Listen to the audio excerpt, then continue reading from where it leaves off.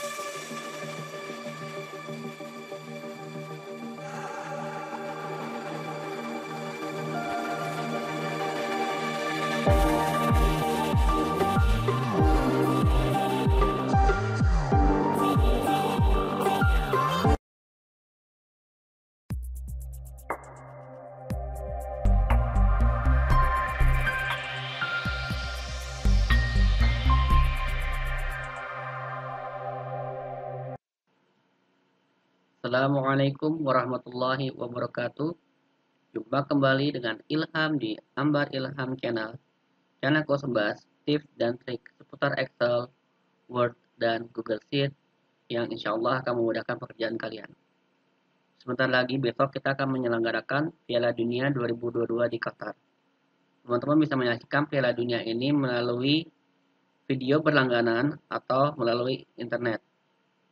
Nah, bagi teman-teman yang hobi dengan Piala Dunia, dalam video kali ini saya akan khusus membahas bagaimana cara mengisi scoreboard untuk mencatat progres untuk pertandingan Piala Dunia.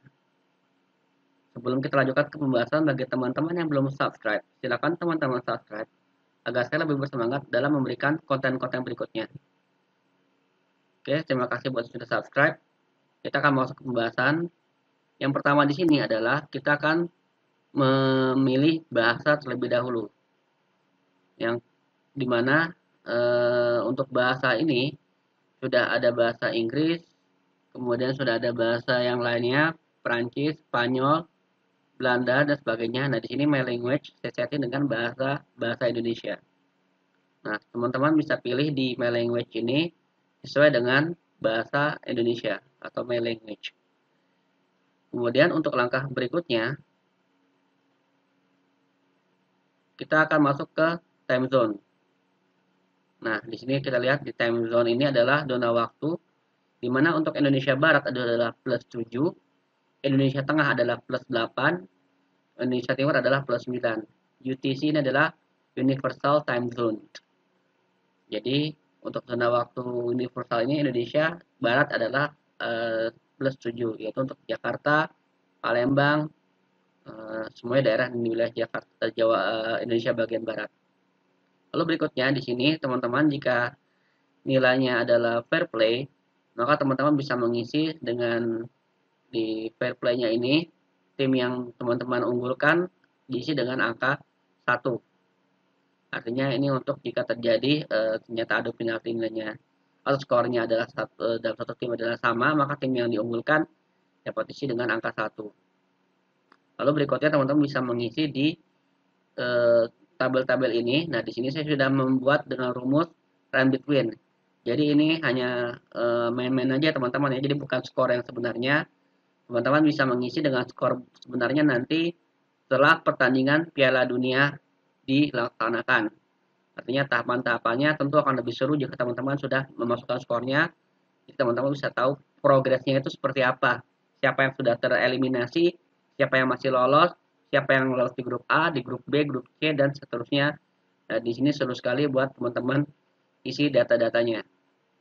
Nah, di sini ketika ada nilainya yang sama, teman-teman juga bisa mengisi nilai e, untuk adu penalti, di mana e, pada 16 besar ini terjadi adu penalti, e, jika skor sama maka teman-teman bisa mengisi siapa untuk menentukan siapa yang menjadi pemenang pada adu penalti tersebut.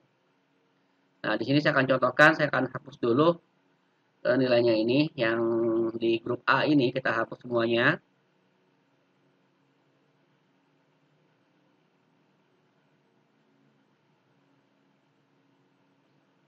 Oke, kita hapus lagi. Dan kita coba isi dengan rumus run between. Jadi saya tidak berpihak pada Eh, salah satu negara.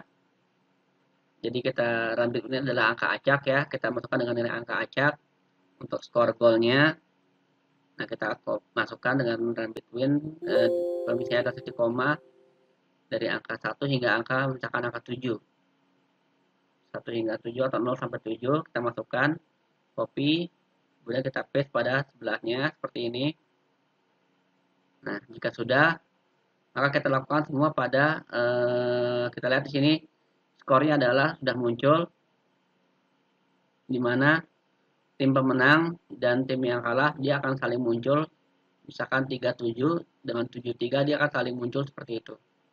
Nah kita copy dan paste berikutnya pada masing-masing uh, kolom. Nah di sini kita akan lihat pemenangnya akan muncul. Maaf saya geser dulu. Saya klikkan dulu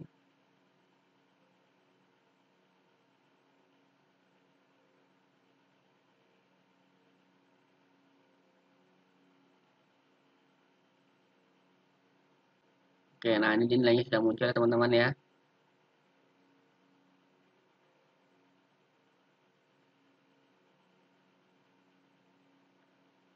Nah, di sini ketika nilainya sama, teman-teman bisa menentukan siapa yang menjadi pemenang dengan mengisi nilai di adu penalti. Nah, di sini kita lihat di yang di grup B yang menjadi juaranya adalah yang nilai tertinggi Nah, di sini ada akhirnya di grup 16 besar, grup A melawan grup B. Kalau kemudian nilai sama, maka ditentukan kembali dengan menggunakan adu penalti. Nah, lalu berikutnya adalah masuk ke babak eh, per 8 besar, semifinal, kemudian ada penentuan juara 3, dan terakhir adalah masuk ke final. Nah, di sini kenapa angkanya belum ada, untuk eh, nama negaranya belum ada, disebabkan karena kita coba cek di atasnya, ini kita isi dulu dengan angka dulu dengan angka acak.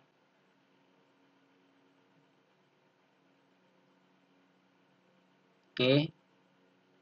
Nah masih belum muncul.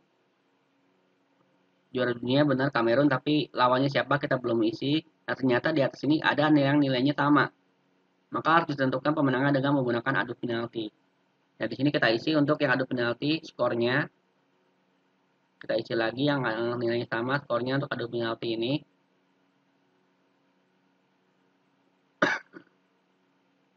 Maka coba kita cek kembali. Nah di sini sudah kelihatan pemenangnya adalah negara Maroko. Nah di sini teman-teman bukan sebenarnya Maroko ya tapi ini hanya main-main saja hanya game untuk scoreboard yang bisa buat untuk menemani Piala Dunia teman-teman semua oke Semoga untuk video ini bermanfaat. Jika teman-teman ada pertanyaan seputar Excel, Word, ataupun Google Sheet, silahkan tulis di kolom komentar. Insya Allah saya akan bahas pada video saya berikutnya. Terima kasih. Wassalamualaikum warahmatullahi wabarakatuh.